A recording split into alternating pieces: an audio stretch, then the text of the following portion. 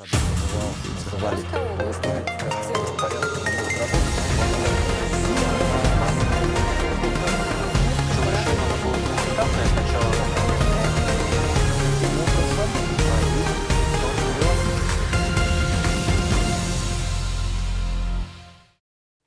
В эфире телеканала «Север» программа «Актуальное интервью» в студии Алина Лучейская. Здравствуйте.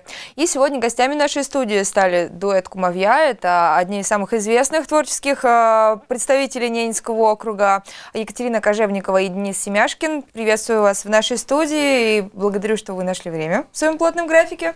Ну, мы не могли его не найти, на самом да. деле. Нам приятно очень, что нас пригласили. Спасибо. Добрый вечер всем. Здравствуйте. А, Денис, Екатерина, вот э, первый вопрос, такой сразу начну вот поливать вас вопросами. А почему кумовья? Что за название э, и как давно вообще ваш дуэт существует? Наш дуэт существует столько, сколько лет э, моему крестному сыну. Э, это 10 лет, да, моему сыну 10 лет, моему не крестному сыну 10 лет, крестному сыну Екатерины также 10 лет, это один и тот же человек. Вот. Все дело в том, что когда мы решили крестить своего сына, э, единственный вариант был крестная, это Катя. Вот, да, мы были друзьями и вот стали родственниками. Поэтому, естественно, мы стали кумовьями. После чего у нас родился такой дуэт. Ну, Катерина придумала их, такой хэштег, дуэт кумовья. Сначала он был все. негласным, чисто в кабинете. Мы шутили, шутили, а потом подумали, а почему бы и да, собственно. И стали уже в массы это немножечко продвигать, говорить об этом со сцены. И народу понравилось, э, запомнили. И стали также нас уже различать, так скажем. Вот. И теперь мы, дуэт Кумовья, уже запатентованные. Так что осталось придумать лого, да, Денис? Да. Да. да. Ну вот смотрите, 10 э, лет дуэта Кумовья, как вот именно название. А до введения концертов вы же ведь раньше начали, да? Ну да, оно э, с моей стороны было не таким частым. Я э, была в роли режиссера, а, ну, там, и актера, но вести мероприятие как-то я пока не решалась. Где-то на каких-то простых мероприятиях я начинала, а потом уже а, мы стали парой ведущих. Один раз, второй раз попробовала, было страшно. И, в принципе, потом уже когда стали чувствовать друг друга, уже стали э, друг друга где-то э, как сказать, поддерживать на сцене, уже поняли, что мы, в принципе, единое целое, так скажем. А, и теперь уже мы не видим ни с кем. Ну да, я, например, ни с кем не могу больше уже вести. Ну, нет, бывает вести, такое. вести могу, да. Бывает, что такая необходимость, что нужно вести с кем-то. Угу. Я веду, но все дело в том, что с Катей мне и говорить ничего не нужно. Не нужно смотреть, не нужно где-то подсказывать или еще что-то. Мы чувствуем друг друга просто вот, э, стоя рядом друг с другом, где поддержать, где что-то сказать. Вот Катерина точно так же и со мной. Ну, я ну, не есть знаю. Есть какие-нибудь да. тайные опознавательные знаки да. у нас там, да, mm. прочие там движения, и мы уже понимаем, что происходит, кто не может прочитать что-то, кто не хочет сейчас это читать, например, и, либо там, допустим, я волнуюсь сильно, либо Денис хочет кашлянуть, там еще что-то. Ну, такие нюансы, и мы уже друг друга чувствуем, поэтому нам комфортно. Э, и в принципе, уверенности больше. Потому что когда ты идешь уже с другим человеком вести, да, uh-huh. в, в тандеме, э, с ним нужно репетировать как минимум несколько раз. А здесь уже можно и без репетиции. Мы можем прочитать текст, один-два раза сделать какие-то акценты, договориться где-то, кто начинает, кто где вступает, чьи где слова, даже если по тексту это не так, и все, и уже идем а уже на сцене можем передоговориться.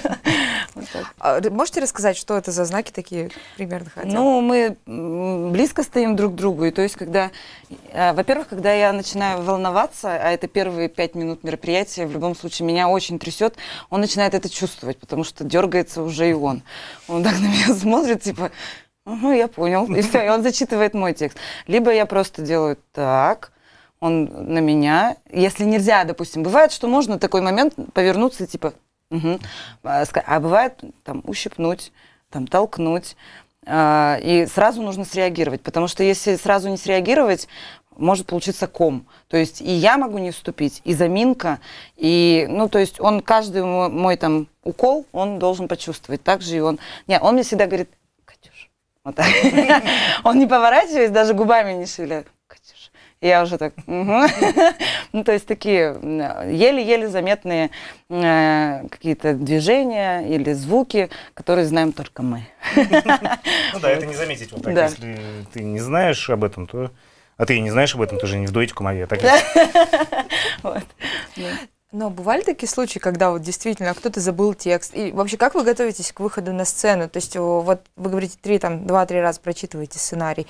Но может быть такое случится, что там кто-то перепутал, начал не тот текст читать. Как Конечно. вообще из таких ситуаций выходить? И были ли какие-то прям очень курьезные случаи? Курьезный случай, можно я расскажу, Катюша? Так? Это был... Он не то, чтобы кто-то забыл текст или что-то в этом роде. У нас... Э, мы вели юбилей э, профессионального училища нашего замечательного. И там э, маляров, штукатуров, да, ну вот есть такое, награждали мы э, маляров, штукатуров. Но все дело в том, что когда ты читаешь это вместе, это маляров, штукатуров. Но это, на наш взгляд, в тот момент это было очень смешно. Я потом не смогла выйти. И мы должны были выйти и прочитали это с, прямо перед выходом маляров, штукатуров и просто, ну вот, э, просто разорвало от смеха. Вот, вот сейчас уже выходить. Что делать? Ну вот я вроде как более-менее успокоился, мы вышли, и текст был Катин. Вот мы вышли, Катя, она вот до этого момента дочитала, и у нее просто... Я стою, она, я она, уже, она уже смеется, да. Ну, и я прочитал это как бы с достоинством. Вроде бы как, ну, как мне показалось в тот момент, потому что потел тоже чудовищно. Очень боялся я э, рассмеяться. Но мы это сделали, все, зашли за кулисы, и вот там у нас был еще там от номера до следующего выхода нашего был момент, что дикий мы просто, хохот. да, дикий, дикий хохот. Э, скорее всего, мы даже мешали артистам, которые выступали.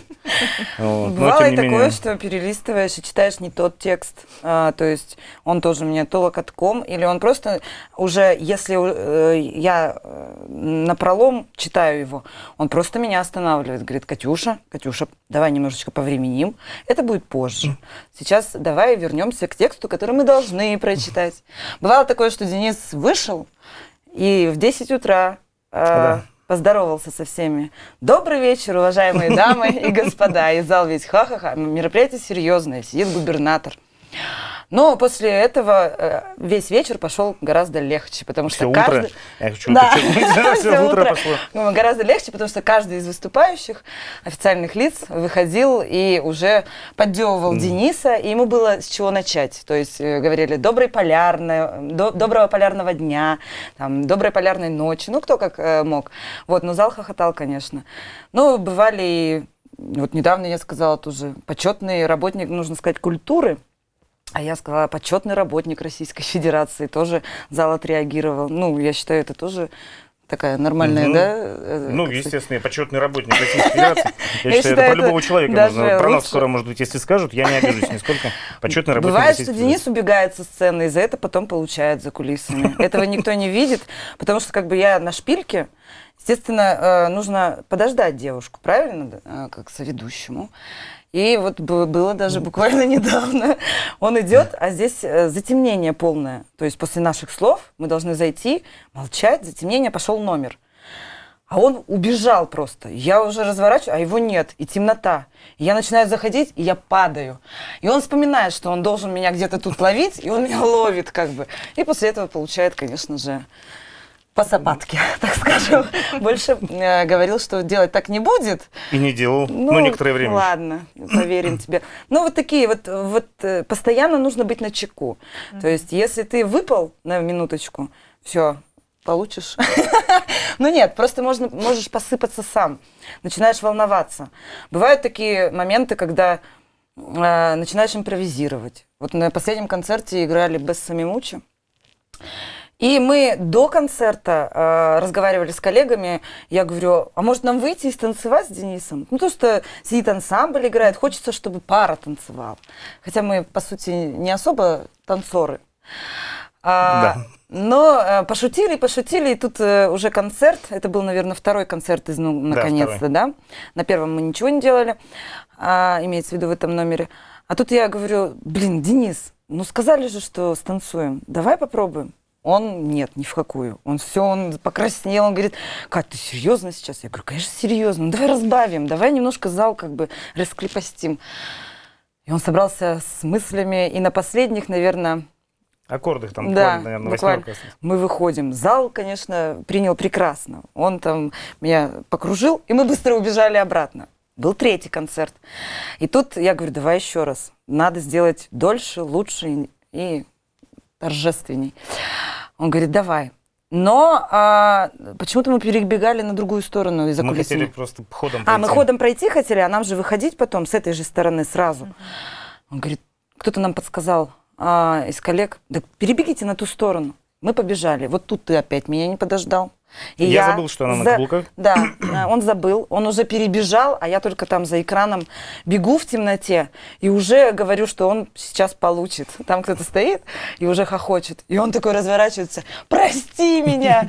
Ну, в общем, не суть. А, И мы выходим, мы сделали выход, мы сделали э, какое-то па он со мной сделал, а потом развернулись и ушли. Зал аплодировал также. Ну, как бы украсили номер, так сказать. Ну, вот бывают такие моменты, когда хочется импровизировать, но главное, чтобы это было в тему, чтобы это не помешало, естественно, артистам, музыкантам, чтобы это было только лучшим дополнением, а никак не в минус шло, допустим, какого-то номера. Ну да, и в основном это только наши мероприятия, когда это неофициальное, Да, потому, что потому что- глупо, если на официальном мероприятии ты начинаешь как-то импровизировать или танцевать.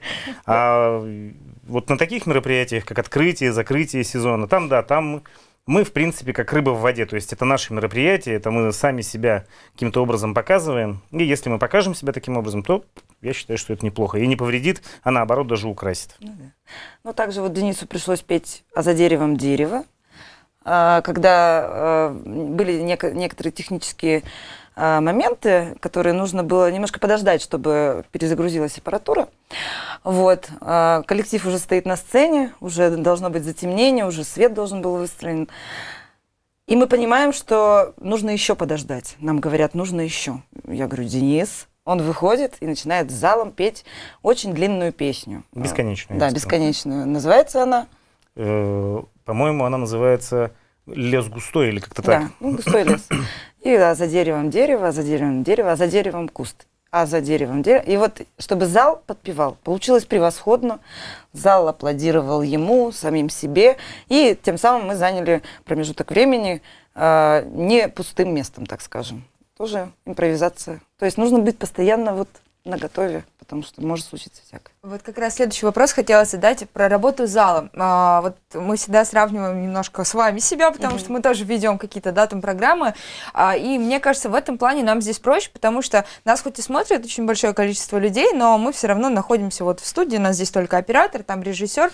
Вы выходите Сколько у вас там в зале? 700 посадочных мест, да, по-моему? Около Но сейчас там в два раза меньше, но все равно это несколько сотен человек. А, насколько это сложно, может быть, и какие вы эмоции получаете от, получаете, ну, есть ли какой-то фидбэк, и вот какие-то интерактивы с залом стараетесь проводить, или вот это только сейчас вы начали? Как вот это все работает? На самом деле только от этого мы и получаем удовольствие. Ну, в плане работы с залом, потому что у нас было вот, ну, э, в связи с этой пандемией, мы выходили порой на сцену, где не было зрителя. Мы не то чтобы не получаем никакого удовольствия от того, что от работы или еще чего-то, нет, ни в коем случае, но э, львиная доля вот э, того, ради чего мы в принципе работаем, это то наши отношения со зрителями. Ты выходишь, когда ты слышишь аплодисменты, или не слышишь их. То есть ты, если не слышишь, то ты стараешься быть как-то чуточку лучше, даже не чуточку. А если ты их слышишь, да, если ты их слышишь, то ты в них купаешься. Потому что эта энергия, она, вот мне кажется, она ничего не заменит. Да, это ни в коем случае не тщеславие какое-то, а это вот именно а, взаимосвязь. Если ты выходишь и а, на первый добрый вечер, да, дорогие дамы и господа, или дорогие друзья, если ты получаешь отдачу уже в виде даже аплодисментов, кто-то может даже покричать, там еще, ты уже чувствуешь, что, ну, все не просто так. Нас тут ждали, и есть взаимосвязь.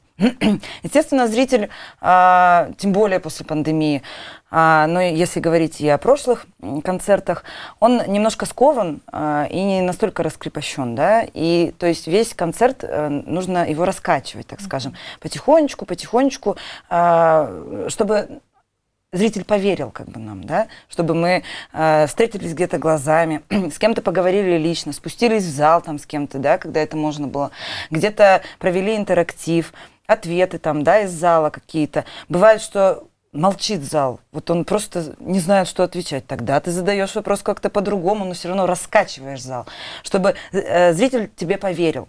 И, э, как сказать, он понял, что здесь можно, например, э, вести себя вот так. Можно с нами общаться, есть обратная связь.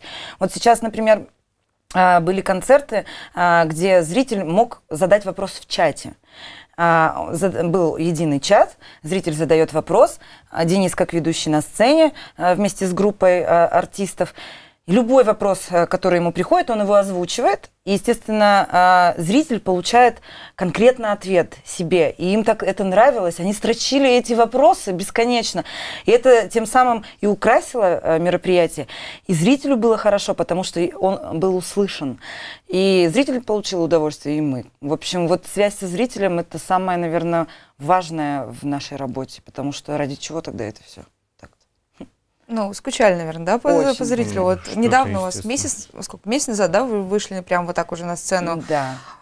Первые ваши эмоции вот после первого концерта можете вспомнить, описать? Я чуть не упала, на самом деле. От... Ну, первые эмоции, на самом деле, если, ну, если быть честным, то оно и было названием нашему концерту. Да. Ну, наконец-то. Потому что, когда сказали 30% можно, было просто у всех. Ну, на... наконец-то. Да, так Потому что это было невозможно. Как были эмоции, когда вообще нас закрыли, сказали сидеть дома и сказали, что нет, давайте открытие сезона мы все-таки проведем. Да? Онлайн. Онлайн. Но тем не менее, это было это Хотя супер. То есть, так. да, можно, можно было собраться, и чтобы коллективы собрались, и что-то сделали для зрителя. Для нас, э, ну, общение со зрителем это самое главное. Это то, для чего мы этим и занимаемся. И ну, 14 лет, совсем скоро будет, как я работаю уже в дворце. Э, я не представляю себе уже другой жизни, на самом деле. Как это, ну, не выходить на сцену, заниматься там, я не знаю, какими-то бумажками или еще чем-то. Я не представляю себя. Эмоции, они, э, ну, как сказать, ну, не то чтобы зашкаливали. В общем, ты держал себя. Вот, вот она, э, та самая минута, когда э, все, все коллективы на сцене, и э, вроде бы только недавно это было, а было на самом деле так давно. И ты думаешь, ну это ведь то же самое, мы недавно это делали. Сейчас э, все вспомним, мы выходим, и все, и начинается вот такая тряска. И вот я, например, я понимала, что Катя, ну успокойся, это, это концерт, все нормально, зритель улыбается, они аплодируют, а я не могу. И он смотрит на меня, и, на меня рядом начинает трясти. Да, и его начинает трясти. А я вот так за него держусь, потому что я понимаю, что я сейчас упаду.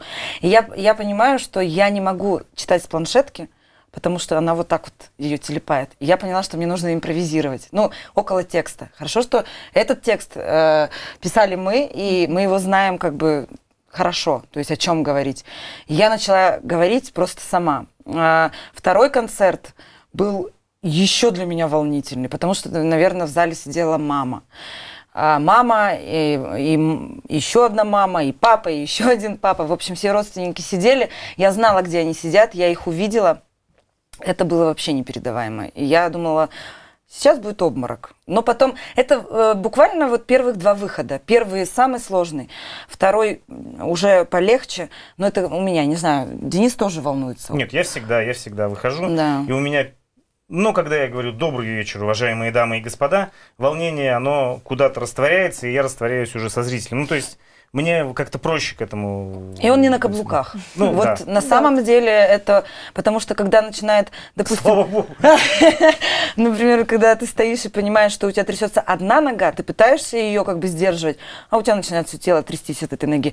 Думаешь, ладно, пусть трясется одна нога, но потом коллеги еще за кулисами начинают тебя снимать, типа, Катя, смотри, смотри, как у тебя юбка тряслась. Я думаю, спасибо. Но вот, вот эту вот эмоцию главное пережить, и потом, когда ты чувствуешь, что зритель к тебе расположен, нечего бояться-то. Просто вот это вот ну, волнение, с которым ты не можешь справиться, оно, конечно, в голове, но я ничего не могу сделать. Я считаю, что если его не будет, может, у меня и, и вот этого куража не будет, вот этого вот посыла того же не будет зрителю, потому что без этого уже, мне кажется, смысла не будет какого-то. Ну, вот так для меня, не знаю.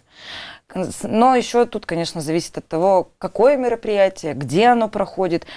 Для меня, на самом деле, проще всего проводить мероприятие, когда я в какой-то роли.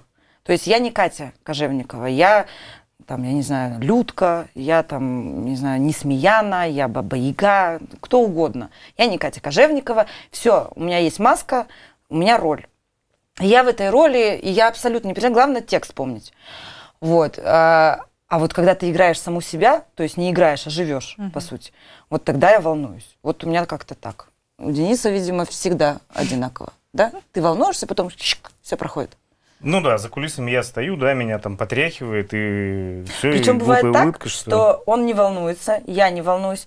Кто-то из нас начинает волноваться, и второй начинает заводиться. Отхват. И мы начинаем, все, ты успокойся, иначе я сейчас сам все сейчас вот это вот. И поэтому стараемся молчать. Лучше промолчать, чем сказать, что-то меня так трясет, и он все меня тоже трясет. А еще если мы расходимся по разным кулисам на первый выход, все, поддержки нет, ё-моё, как сейчас будет, а, вот этот первый выход, ну, и это проходит. Ну, о, коль же заговорили, да, про вот в самом начале второго, третьего вопроса про пандемию, э, для всех, конечно, это было сложно, и вот когда-то в марте, в конце марта, в начале апреля, э, мы-то здесь работали, я помню, что многие позакрывались, вот вы, mm-hmm. наверное, тоже были, да, одними из тех, кто ушли на удаленку. А. Или у вас не было такого? Вот расскажите вообще, как в пандемию работали? Недели две, наверное, мы сидели дома. И вот то, было такое, и, и то. то потом начали выходить потихонечку, но тоже это было как... Э, мы выходим, делаем какие-то свои дела и расходимся. Нам То не встречаться не там было, нельзя было, ни в кабинете сидеть. Угу. А, в общем, если тебе нужно было что-то на работе, ты должна была как-то туда проникнуть, так скажем, а, что-то забрать и уйти домой. Да, все старались работать дома, но потом а, мы поняли, что это невозможно, потому что все там. А, и в любом случае а, какие-то бумажные дела, да, еще не вопрос, можно было сделать дома. Но потом стали говорить о том, что, возможно, нам разрешат э, онлайн. Мы пока в это не верили, да мы вообще не знали, как это делать. Мы никогда этого не делали. Максимум, что мы делали, ну, как максимум. Мы, конечно, делали какие-то видеоклипы, да, снимали у нас ребята, какие-то заставки, какие-то Сами в каких-то э, мизансценах таких видео участвовали, видеороликах э, для оформления мероприятия, какие-то делали зарисовки. А вот так, чтобы просто на камеру выходить э, в онлайн, общаться с, с зрителем, да, мы вообще не представляли, как такое может быть в нашей именно стези. И вот когда нам сказали, что мы выходим в онлайн, мы такие, у классно, мы выходим в онлайн. А потом такие, а что делать-то? Как это делать? Мы пока не могли э, сами пере, перестроиться, что э, нужно, во-первых, говорить в камеру, да, нужно какие-то вот такие нюансы глупые на самом деле, ну, для вас, например. Для нас это было, или как, как вот на сцене должно это все, как это снять так, чтобы зрителю было интересно смотреть. Это же не статично, зритель не в зале же сидит, он должен это видеть с других ракурсов, э, какие-то перебивки должны быть, какие-то э, вставки. Нам вообще это было все непонятно. И, конечно, Тут нам помог и видеоотдел наш ребят, да, мультимедиа. А, как бы с каждого э, по чуть-чуть мы смотрели, как это делают другие коллеги, мы обращались и к вам, мы обращались э, к интернету, да, в конце концов, вообще, как это преподнести все. И вот так вот компилируя это все, э, находя какие-то новые формы, какую-то новую подачу, мы поняли хотя бы, как примерно можно это сделать. И попробовали вот закрытие сезона. Потом у нас пошел культура вирус, да, да. получается, э, придумали передачу э, общения э, между коллегами. Да, нас да. тоже приглашали, да, и формат да, прикольный очень да. такой, и, по-моему, просмотров тоже много восстановили. Да, да, хорошо приняли зрители. Нет, пока, конечно, зритель был, он неистовствовал, он говорил, что как это так? Давайте откройте залы. Мы всем объясняли, что ну, мы сами заложники ситуации, вы же понимаете, вы сами сидите дома. Вот. А зритель немножко негодовал. Потом зритель стал привыкать. И даже сейчас а, многие просят прямую трансляцию, например, там с нескольких камер, потому что не могут посетить концерт. То есть приучили немножко. Ну и в то же время мы для себя а, открыли очень много возможностей сами для себя. Потому что это абсолютно другая работа. Это абсолютно другой объем работы, потому что если ты делаешь мероприятие, ну, допустим, э, в лучшем случае за месяц, то здесь большой какой-то фильм, например, тот же нужно делать минимум за два месяца. Ну, то есть э, нашу работу нужно было э, умножать минимум в два раза, потому что это и организация съемок, это и договоренности, это и подготовка э, каждого, допустим, эпизода, да, это работа с теми же артистами, потому что те же артисты, они не могли перестроиться на камеру, они не знали, как смотреть, где можно смотреть в камеру, где этого не нужно делать. Каждым нужно было провести работу, огромный огромный труд на самом деле. Я э, низкий вам поклон, потому что на самом деле это абсолютно друг, другая работа. И э, в каком-то случае я даже хочу сказать спасибо, потому что я, э, еще раз повторюсь, мы открыли для себя некие возможности и в себе. То есть мы научились чему-то новому, интересному, и это нам только в плюс, на самом деле. Мне, для меня этот опыт бесценен, на самом деле. Для Дениса не знаю. Как? Я потерял уже разговор просто. Но тем не менее, получается, вот мы следили за вашим творчеством, нам было интересно, потому что всегда интересно смотреть за какими-то успехами, да, ну, потому что некоторые проекты действительно были очень классными, и в том числе фильм новогодний очень классный, посмотрела. Это я представляю, сколько вы туда сил вложили, да, и это же, причем игровая такая штука была. То есть мы-то, видите, работаем в основном на документалке, да, и здесь проще, чем в игровой, потому что где взять актеров и прочие вещи. А расскажите, что вот я так понимаю, что сейчас сейчас, несмотря на то, что вы вышли на сцену, да, и наконец-то вам разрешили, а эту стезю с видео штуками вы ее оставите, наверное, да, да? и, может быть, какие-то планы уже есть грандиозные. Вот если можно поделиться, поделитесь. А. Планы есть. И сейчас идут съемки как раз отчетного концерта. А, да. Да, идут съемки отчетного концерта танцевального коллектива Шоутайм. Угу. Да, у них это будет э, очень интересно. Ну, если кто-то из зрителей, может быть, может быть, ты, Алина, тоже была когда-то на их отчетных концертах. Это была миссия выполнима. Угу. То есть там мы играли главные роли с Катериной. Ну, Нет, естественно, главная роль была у Шутайм, да, а мы были проводниками, собственно да. говоря. Вот. И сейчас у них идет э, уже миссию мы закрыли, сейчас уже не миссия, сейчас у них идет игра.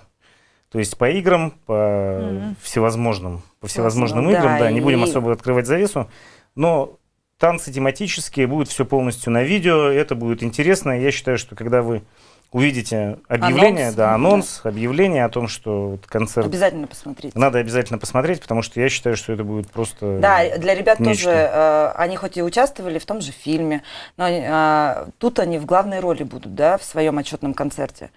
Это даже не отчетный концерт, это, видимо, танцевальное шоу-программа, да, так скажем, да, да. игровая. А, и вот даже сейчас идут съемки, и бывает по пять часов. Ну вот был такой момент, что ребята пять часов не могли понять, как это снять, чтобы вот для зрителя это было, был этот танец сюжетно интересен и вообще понятен, и как это придумать, там зеленый фон, не зеленый фон, то есть вот э, все эти технические средства. И ребята э, устают, они, конечно, стараются безумно, для них это тоже новый опыт, э, и я считаю, что такая интересная задумка, которая выстрелит. А, хотя уже и руки опускаются иногда, потому что, кажется, вот открыли уже, да, давайте лучше сделаем уже концерт. Вот так вот покажем и все. Потом нет, надо сделать, потому что работа уже проделана, половина, да, наверное, уже сделана. Ну да, скорее всего. Вот и они не опускают руки, и приходят, и все равно, ломая голову, танцуют, и получается ну, классно. А, также делаю, делаем ролики поздравительные те же, а, пытаемся найти тоже какую-то изюминку, как это преподнести, сделать. Вот сейчас э, сделали ролик 90-летию МВД, а, замечательный получился. Потом от одного отказались, да, по-моему, все-таки на сцене будет у нас Либерти да, у нас, да, да, да, хотели да. сделать. Э, в общем, э, в чем проблема вообще э, встает, когда ты решаешь, на сцене это будет или это будет все-таки на видео? Когда ты на сцене, это декорации. А когда ты делаешь видео, мы пришли к тому, что делать на сцене, это нужно так заморочиться, чтобы mm-hmm. это были не просто декорации, да, это там зеленый фон и прочее, какая-то компьютерная графика, что-то в этом духе тогда это нужно на натуре делать, если ты хочешь, чтобы это э, получился как фильм. И это очень сложно. Учитывая то, что по договоренностям это занимает огромное количество времени, договориться, сделать какой-то там, я не знаю, павильон, не павильон, сделать э, э, какой-то реквизит там расставить. Это очень все сложно и долго. Поэтому здесь мы решили все-таки показать концерт э, образцовой студии современного танца Либерти на сцене. Но хотя в задумках есть еще проект, может быть, мы его осуществим. Просто сейчас, получается, нам открыли зал, все заняты сценой, и сейчас, чтобы сделать что-то онлайн, нужно выцеплять прям людей, mm-hmm. э, как-то дробить график, я не знаю, работать ночью, чтобы э, либо на сцене, если что-то нужно снять, нужно делить прям сцену, потому что каждые выходные у нас концерты или репетиции. Поэтому сейчас это немного проблематичнее, нежели в пандемию, потому что там сцена, допустим, та же была свободна, и люди были не заняты, да. И то есть, когда мы им говорили, давайте поучаствуем в нашем видеопроекте, да не вопрос вообще, это здорово, это новый опыт, там, даже для вокалистов, для артистов, для всех. А сейчас уже как бы нужно варьировать этим всем. Впереди еще много интересных проектов, но на самом деле пока самое главное это шоу-тайм. Вот. Mm-hmm. Он сложный э, по своей тематике, по наполняемости, поэтому пока, наверное, остановимся на этом видеопроекте. А все ваши видеопроекты можно посмотреть в официальной группе ВКонтакте, да? Да, и также на нашем YouTube-канале «Артист а, ЕДК». Угу. Да. да, на YouTube даже, наверное, будет удобнее, если да, смотреть. там и качество удобнее, мне кажется, и скорость, и все такое. Да, потому что стараемся заполнять а, наш канал, потому что там у нас выходят и подкасты, выходят и а, выставки. Сейчас, кстати, вот еще по поводу видеопроектов будут еще у нас а, как это называть-то, онлайн э, выставки, да, так и... Ну, вот как выставочный зал да, делают, ну, да? Э, похоже. Они и будут это делать ага. вместе с нами. То есть у а, Алены Евгеньевны Одеговой есть а, идеи интересные. Но, так же, как а, на телеканале «Культура» проходят как, некие передачи да, по искусству, а, мы хотим сделать тоже что-то свое такое – а, чтобы просвещать народ, но уже в онлайн-режиме, чтобы это было доступно всем, чтобы любой желающий мог посмотреть а, о каких-то деятелях и наших, и приезжих. Вот это тоже в планах готовится.